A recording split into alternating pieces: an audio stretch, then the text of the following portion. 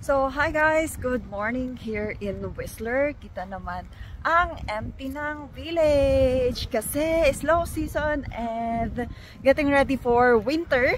Ito po yung ginagawa ngayon. So, ito ayan. So, Excalibur Gondola inaayos and of course ito din naayos din siya guys for winter. Ayan, under construction pa rin. And empty. Close. Whistler Village gondola is closed. And this one's also walang mga customer. 'Di ba? Pan Pacific. Workplace ko noon, guys. Ito. Yan, yung hotel na yan. And Longhorn. Ayan. At madaming mga sale ngayon. So that are, those are snowboards and skis. On sale. X-rental siya. Kapag sinabing X-rental, rental siya dati and they're selling it na ayan, turkey sale. Save up to 60% off. Ayan.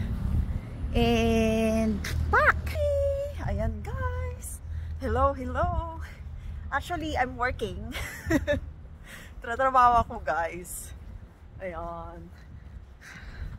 Bet ba yung banks? Trip lang Grabe. Ayun, may ano, nag-allergy reaction guys dun sa upper lip ko. So, ayan, pulang-pula siya. But at least, ano na to, fourth day, dry na siya. Ayan. Pero grabe, para akong nasubsob sa ano, sa puso ng iba. Char. nasubsob.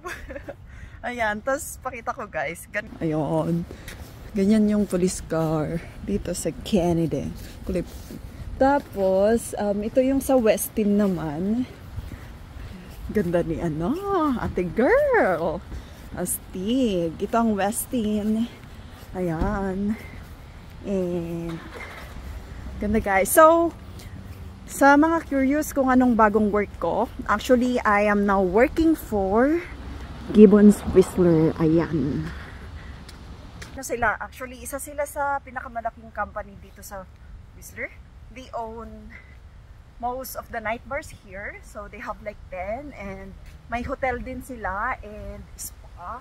So I'm new job ko is under the finance team doing um, junior accountant. Ayun guys. So finally na gagawa ko na yung tinapos ko sa SLU, 'di ba?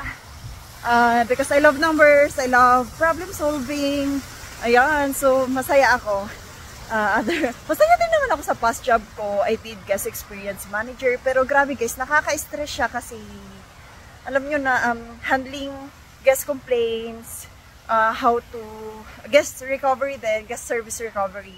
Tapos you handle like 15 people every shift, which is okay naman, I manage people.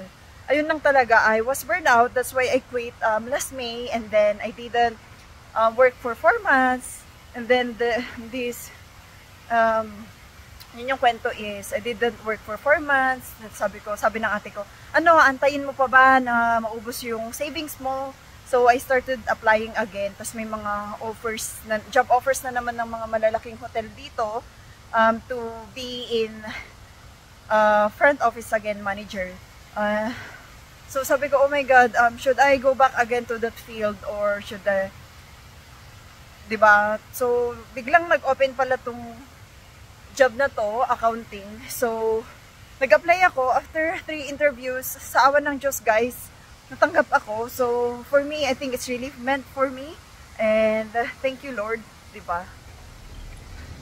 Uh, nagpapasalamat ako. Tapos yun, parang 360 yung nangyari sa akin na I need to, ano, um, new job, 'di ba? New people, new friends to like get to know So, ang galing talaga, guys. Um, don't, uh, ano ba? Um, trust the process, trust Lord, and tiwala lang sa sarili na kaya nyo, di ba guys? Ayun. And now, I'm going to the work. Charot. Ano daw ang gulo. So, ayan guys. Later again. Bye!